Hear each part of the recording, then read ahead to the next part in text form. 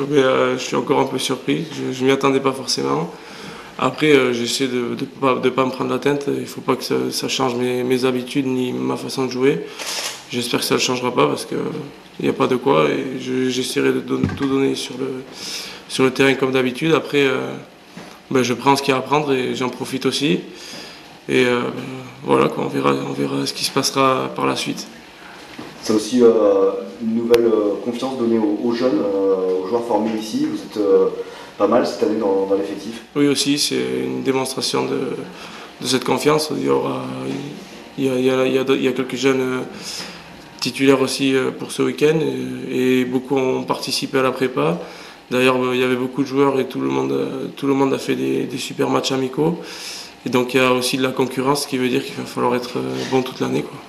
Ah oui, clairement. Euh, surtout après avoir joué le match amical ici contre Pau avec tout le public euh, qui était présent, j'étais même surpris. Je pense que contre Brive, il y en aura- encore plus. Du coup, ce sera, vraiment top et il me tarde vraiment de, pouvoir évoluer devant tout le monde et, essayer de faire du mieux possible ce week-end.